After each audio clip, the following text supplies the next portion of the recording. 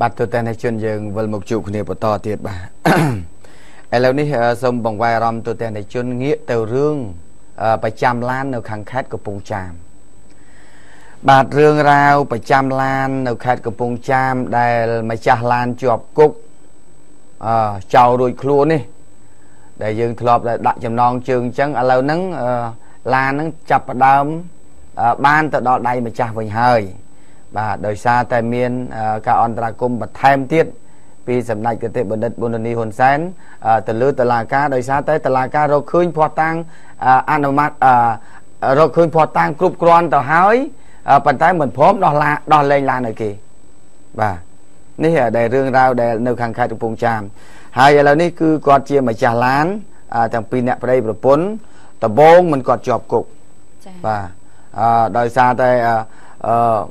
តឡាការគាត់អត់បានធ្វើការស្រាវជ្រាវឲ្យលំអិតស៊ីជម្រៅពីក្រោយអ្នកម្ចាស់ឡានជាប់គុកបាទប៉ុន្តែម្សិលមិញនេះបាទគឺដូចជាម្លងមកទល់នឹងម៉ោងនេះពេលនេះដូចជាចង់មួយឆ្នាំដែរបាទ5 3 4 5ខែ5 6ខែហើយបាទឥឡូវឡានហ្នឹងបានយកចេញពីស្នងការនគរបាលរាជធានីស្នងការនគរបាលខេត្តកំពង់ចាមហើយបាទហើយខាងម្ចាស់ឡានក៏បានអរគុណជាពិសេសហ្នឹង ទៅសម្ដេចកតិបណ្ឌិតប៊ុនរនីហ៊ុនសែនដែលបានជួយអន្តរាគមឲ្យបានឡានរបស់គាត់យកទៅរកស៊ីវិញទី2ក៏អរគុណចំពោះលោកស្នងការខេត្តកំពង់ចាមដែលបានរក្សានៅឡាននេះបានល្អដោយឡាននេះគ្រាន់តែយកអគុយទៅដាក់ឆេះវិញបាទពីព្រោះកន្លងមកធ្លាប់ថាតាទុកកន្លែងអឺបោះប៉ូលីសចាប់ទៅទៅវិញបាត់គ្រឿងអឺតើទៅយកជាងទៅធ្វើឬក៏យកឡានផ្សេងទៀតទៅអូស យកមកចូលជាងទៅហ្មងបាទប៉ុន្តែនៅពេលនេះសម្រាប់ឡានរបស់លោកអឺនេះគាត់ម្ចាស់ឡាននេះគាត់នៅខាងកពតនេះគាត់គាត់តែដាក់គុយឆេះតែម្ដងបាទហើយរឿងរ៉ាវនេះទូទាំងជនសូមជម្រាបបន្តិចបាទពិសារបានបន្តិចរឿងរ៉ាវឡាននេះតាមពិតទៅឯកសារគ្រប់គ្រាន់នោះវាហួសពីគ្រប់គ្រាន់ណាស់ទៅហើយតែតឡាការគាត់ថាបន្តធ្វើការស៊ើបអង្កេត ដោយសារតែផ្អែកទៅលើអឺកាតគ្រីវាមានទាំងសងខាងប៉ុន្តែការធ្វើកសលវិច័យទាំងការផ្ដិតមេដៃទាំងអីហ្នឹងយកធ្វើមកធ្វើកសលវិច័យរហូតដល់ក្រសួងទៀតផងដឹងអស់ទៅហើយដឹងថាកែនសារ៉ាជាអ្នកយកឡានទៅប្រចាំបោកខាងម្ចាស់ឡាននេះយកទៅប្រចាំគឺពិតប្រកបជាមនុស្សនោះបោកប្រកបដែរហើយអ្នកទទួលប្រចាំនោះក៏គាត់ រងគ្រោះដោយសារតែកែនសារ៉ានឹងដែរបាទប៉ុន្តែឮថាក្រោយមកឮថាមានការអឺអ្នកទទួលប្រចាំនឹងលោកកែនសារ៉ាមានការជួបចរចាគ្នា ដើម្បីបញ្ចប់បញ្ហាឲ្យមានការជួយចេញថ្លៃខាតថ្លៃចំណេញយ៉ាងម៉េចទេឬខាងព័ត៌មានចុងក្រោយបាទចង់និយាយថាឲ្យមានការចរចាគ្នាចាបាទដើម្បីថា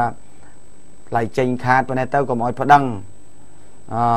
ឲ្យខាងអ្នកទទួលប្រចាំអត់ព្រមលុយគាត់ប៉ុណ្ណោះមិនក៏ចេញប៉ុណ្ណឹងមិនកើតលោកឯងអ្នកមកបោកខ្ញុំដែរចាអឥឡូវម្ចាស់ឡានជាអ្នករងគ្រោះឥឡូវអ្នកទទួលប្រចាំចាញ់បោកកែនសារ៉ាដែរហើយឲ្យម្ចាស់ឡានក៏ចាញ់បោកកែនសារ៉ាដែរអញ្ចឹងអ្នកទទួលប្រចាំគាត់ទទួលប្រចាំដោយគាត់អត់យល់ពីអឺកាតគ្រីនោះ ជាកាតគ្រីស៊ីនឬកាតគ្រីខ្លាំងខ្លាយបាទប៉ុន្តែអ្នកដែលរងគ្រោះពិតប្រកបម្ចាស់ឡានព្រោះមាន2គ្រឿងនៅមួយគ្រឿងទៀតអត់ទាន់ចេញទេចាបាទអ្នកទទួលប្រចាំតែមួយនឹងដែរចាមួយគ្រឿងទៀតនៅបាទនៅក្នុងនៅក្នុងដែរហើយម្សិលមិញនេះអឺអ្នកម្ចាស់ឡានហ្នឹងទៅប្រជាពលរដ្ឋប្រមាណជាដូចជា50 60នាក់ដែរទៅជាមួយ គ្នាអត់មានលុយតតែសោះនៅនឹងខ្លួនអឺប្រជាពលរដ្ឋដែលទៅជាមួយនឹងរីគៀសគ្នា10000 10000 10000 10000 10000ដើម្បីឲ្យចាក់សាំងបាទអត់មានលុយមួយរៀលទេចាបើសិនជាលោកស្នងការគាត់យកលុយថែមទៀតថ្លៃញ៉ាឡានណែអីទៀតអស់បដ ாய் តែគាត់អាណិតដែរហើយអឺខាងបុគ្គលិករបស់យើងដែលទៅថតព្រឹត្តិការណ៍ហ្នឹង អាណិតពេកថាអើបើមានលុយជាប់កប៉ៅនឹងបានឲ្យគាត់សិនទៅចាំខាងខ្ញុំនេះសងទៅវិញចាំកាត់គូវិញបាទអញ្ចឹងគ្នាមាន40ដុល្លារហ្នឹងឲ្យទៅម្ចាស់ឡានហ្នឹង40ដុល្លារទៅចាព្រោះវាអត់ពេកទៅអត់បាយអត់ទឹកបាទធ្វើម៉េចឲ្យតែបានឡានគាត់ថាគ្រាន់តែលឺពាក្យថាគាត់បានឡានវិញហើយបានជំទាវធំជួយអន្តរាគមឲ្យគាត់បានឡានវិញហើយគាត់ថាពលឹងនឹងមកពីនោះដូចចង់ហោះចាអខ្លាំងបាទចង់ហោះដោយសារអី ដោយសារទី1ភាពក្រីក្ររបស់គាត់នៅឯផ្ទះនោះកំពុងតែប្រឈមខ្លាំងទៅខ្លាំងទៅ ទី1គាត់ទិញឡានគេនឹងដាក់ប្លង់ដីផ្ទះចាដល់ពេលវេលាដែលធនាគារគេត្រូវរឹបអូសយកផ្ទះគាត់បាទហើយទី2គាត់ចេញទៅលីសែងអឺធ្វើកម្មកររែកដីណោនៅឯព្រំដែនណោះ ចេញទៅធ្វើការនៅនោះដើម្បីយកអាកម្រៃនឹងដើម្បីកិច្ចវាមិនចង់ឃើញថាផ្ទះរបស់ខ្លួនត្រូវបានគេរឹបអូសចា៎បាទប៉ុន្តែគាត់ជួននៅពេលដែលខ្លួនបានទៅធ្វើនោះស្រាប់តែដូចជាប៉ុនឲ្យដែរស្រាប់តែដឹងដល់លោកជំទាវធំគាត់បានជួយអន្តរាគមបញ្ហានេះប៉ុន្តែមិនមែនបានន័យថា ការជួយអន្តរាគមនេះវាអឺបំពេញទៅលើតឡាការទេ ដោយសារតែទី1 តឡាការបានរកឃើញនៅអ្នកណាខុសអ្នកណាត្រូវអស់ហើយគ្រាន់តែអឺនីតិវិធីនៃតឡាការថាតើត្រូវដោះលែងឲ្យគេមានឲ្យឡាននេះមានសេរីភាពគេទៅរកស៊ីវិញថ្ងៃណា វាមិនត្រូវទុកចោលចា៎បាទមិនត្រូវទុកចោលបើបើយើងឃើញអស់ទៅហើយនោះអញ្ចឹងវាខ្លាចមានអារឿងវាអត់កំបាំងអីនៅពីក្រោយឯងវាងាប់អាគ្នាដែលម្ចាស់រថយន្តណាចា ហើយចុះបើសិនជាព័ត៌មាននេះមិនលេចចេញជាសាធារណៈតើឡាននឹងនឹងទៅជាយ៉ាងណាហើយចុះបើសិនជាប្រព័ន្ធព័ត៌មានមិនផ្សាយកាលពីគាត់ដំបូងម្ចាស់ឡានបែរជាជាប់គុកទាំងប្តីទាំងប្រពន្ធនេះមកទល់ម៉ោងនេះតើគាត់អយុត្តិធម៌ប៉ុណ្ណាហើយប្រជាពលរដ្ឋនៅក្នុងខេត្តកំពតគេលើកគ្នាទាំងឡានមកបើសិនជាមនុស្សបុគ្គលម្ចាស់ឡាននេះគាត់ជាមនុស្សអាក្រក់ហ៎ សួរថាអ្នកស្រុកនឹងគេមកអបអសាអបអសាទរជួយហ៎បាទបើអ្នកបើអ្នកប្រព្រឹត្តអាក្រក់បាទនេះលោកអ្នកជារឿងមួយដែលបង្ហាញឲ្យឃើញថានៅឯកំពង់ចាមវាមានរឿងចឹងកើតឡើងប៉ុន្តែឥឡូវបានចេញទៅហើយបាទបានចេញទៅហើយបាទអរគុណខាងតឡាការផងដែរដែលបានដោះលែងប៉ុន្តែដោះលែងពេលដែលតតែមានអន្តរាគមបាទចា៎ដែលដែល កប់ឯកសារនោះទុកចោលបាទដូចជារឿងរ៉ាវគ្រោះថ្នាក់ចរាចរណ៍កន្លងមកមិនមែនថាសម្រាប់តែនៅកំពង់ចាមទេនៅខេត្តផ្សេងផ្សេងទីនេះដែលប្រជាពលរដ្ឋគាត់ផ្ញើសារមកច្រើនណាស់រឿងខ្លះកប់ទុកចោលនោះតែម្ដងរឿងខ្លះទៀតគ្រូសាររងគ្រោះស្លាប់បាត់ទៅហើយមិនទទួលបាន សំណងរដ្ឋបវេនីអីតតែសោះដោយសារតែគាត់ក្រីក្រនៅឯជនបទ គាត់អត់មានលទ្ធភាពឡើងមកខេត្តយូរយូរទៅកូនដែលងាប់ភាសាងាប់ដូចវានេះពេកស្លាប់ដោយគ្រោះថ្នាក់ចរាចរណ៍ស្លាប់តាទេគ្មានទទួលសំណងអីទាំងអស់ទីបំផុតចុងក្រោយពេលដែលសាក់សួរតាមមិត្តភ័ក្តិចិត្តដិតអីចឹងទៅគេថាហាឡាននោះឃើញអ្នកអឺម្ចាស់ឡានគេមកសងឲ្យអត់តាន់បានលុយទៅទេមិនដឹងជាទៅឯណាអញ្ចឹងគ្រោះថ្នាក់ចរាចរណ៍ខ្លះ មិនមានសំណងរដ្ឋបវេនីហើយក៏មិនមានទោសទណ្ឌសម្រាប់អ្នកប្រព្រឹត្តទៀតដែលធ្វើឲ្យភាពអយុត្តិធម៌សម្រាប់ប្រជាពលរដ្ឋតូចតាចក្រីក្រគ្មានខ្សែស្រឡាយនៅឯជនបទគាត់រងនូវភាពអយុត្តិធម៌ស្លាប់កូនស្លាប់បងស្លាប់ប្អូន តែគ្មានសំណងហើយអាសំណងដែលគេសងមកហើយអង្គតែគ្នាអត់ស្គាល់កលុកកលៀនគៀនកោះដាច់អានោះបាត់ទៅបាទ វាមានរឿងរ៉ាវកើតឡើងអញ្ចឹងហើយឥឡូវតកតងនឹងរឿងលោកពូមួយដែលថាម៉ូតូអសង្ការ៉េ150ដុល្លារនេះប្រចាំគេនេះម្សិលមិញអៃដាមអិនបារាបានបញ្ជាក់ប្រាប់ហើយថាឲ្យធ្វើលិខិតនោះមកបញ្ជាក់មកឲ្យតាមរយៈអឺអ្នកទទួលប្រចាំយ៉ាមកយកម៉ូតូបានហើយចាប៉ុន្តែមិញនេះម្ចាស់ ម៉ូតូដែលម៉ូតូអសង្ការ៉េដែលប្រចាំ150ដុល្លារនេះគាត់ថាលោកធីអីឲ្យខ្ញុំទៅមិនដល់ពេលទៅដល់សួរខាងអ្នកទទួលប្រចាំគេថាសួរមេតាវី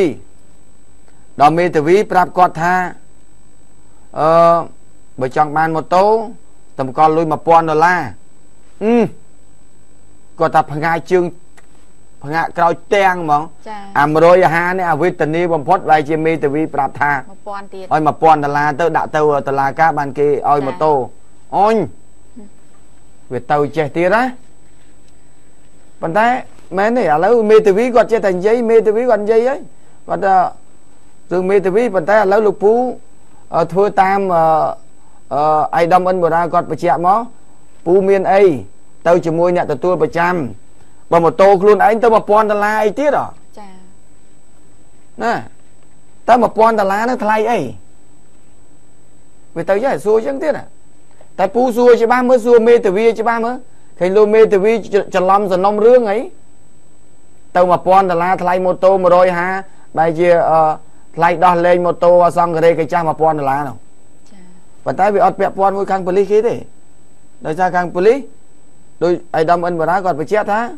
រឿងនេះវានីតិវិធីទៅតុលាការចាតែបើសិនខាងនោះដាក់មកគាត់យកសំណើហ្នឹងទៅដាក់ទៅតុលាការដើម្បីសុំតាឡាម៉ូតូសង្ការេកញ្ចានេះរបស់គាត់ហើយអញ្ចឹងលោកពូទៅខាងនេះទៅទៅខាងអយអ្នកទទួលប្រចាំហ្នឹងទៅជាមួយគាត់ដើម្បីទៅកន្លែងប៉ូលីសគេធ្វើលិខិតទៅឲ្យមិនបាច់ចាំនេះទេលោកបើសិនជាលោកពូទទួលព័ត៌មានថាពីលោកមេតាវីថាឲ្យប៉ុណ្ណឹងមិនបាច់ទេ ម៉ូតូតម្លៃ150ឲ្យយកលុយ1000ដុល្លារទៅ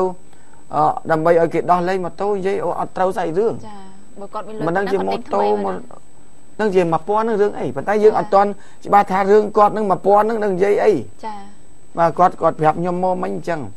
ប៉ុន្តែអត់មានតាក់ទងរឿង1000ទេខាងប៉ូលីសគេអត់មាននិយាយរឿង1000អីណាណាចាតម្លៃម៉ូតូនៅតែយកទៅដាំខ្ទឹមឲ្យលេង1000នេះទៀតចប់បាត់ហើយចាបាទ នេះគ្រាន់តែចង់សារបន្ថែមប៉ុណ្ណឹងទេ បាទអញ្ចឹងលោកពូទៅដូចខ្ញុំបានប្រាប់អញ្ចឹងទៅហើយលោកខាងទទួលប្រចាំមកក៏ត្រូវជូនគាត់ធ្វើម៉េចបើគាត់ល្ងងគាត់អត់ដឹងកន្លែងប្រាប់ថាក្រសួងមហាផ្ទៃកន្លែងណាទៀតអត់ដឹងទៀតណាបាទបាទនិយាយញ័រញ័រមកអត់ដឹងកន្លែងក្រសួងមហាផ្ទៃនៅកន្លែងណាអញ្ចឹងខាងខាងទទួលប្រចាំជូនគាត់ផងទៅបាទ ដើម្បីកុំឲ្យគាត់អត់ស្គាល់កន្លែងទីតាំងអីចឹងគាត់គាត់ថាគ្រួសារគាត់មកគ្រួសារនឹងពឹងផ្អែកទៅលើតែម៉ូតូនឹងមួយជីវិតរបស់គាត់ហើយសុខចិត្តគាត់ស្លាប់ក៏ស្លាប់ទៅឲ្យតែបានម៉ូតូមកវិញអូបាទវាដល់ថ្នាក់អញ្ចឹងបាទហើយនៅពេលដែលព័ត៌មានអញ្ចឹងទៅវាមាន អ្នកដែលមានចិត្តធម៌នេះស្រេចទៀតណាអូ មានម៉ាក់ម៉ាក់ជលធាហៅសៃពេជ្រគាត់លឺអានឹងវាដូចជាអយុធធរពេកហើយនឹងអាណិតអសូរពេកគាត់អត់មានដែរទេគាត់សុំជួយទៅពូម្ចាស់ម៉ូតូអាសង្ការេនឹង10ដុល្លារចាទឹកចិត្តបាទទឹកចិត្តគាត់គាត់មានប៉ុណ្ណឹងសុំទៅពូ10ដុល្លារចាហើយពូមកអញ្ជើញអញ្ជើញដើម្បីសុំម៉ូតូនឹងថ្លៃបាយចាបាទ អេខ្ញុំក៏ជូនពូខ្លះដែរបើថាវាអត់ពិតប្រកបប៉ុន្តែឥឡូវចាំមើលម៉ូតូពូបានមកណាពូ150ដុល្លារវាស្មើគេចូលហាងមួយផ្លែតផងចាបាទហ្នឹងសម្រាប់គេអ្នកមានណាចាបាទតែកុំនិយាយរឿងគ្នាអ្នកអត់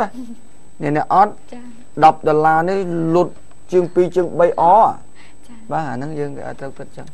បាទធ្វើម៉េចបើវាជួបអញ្ចឹងទៅហើយបាទឥឡូវនេះសូម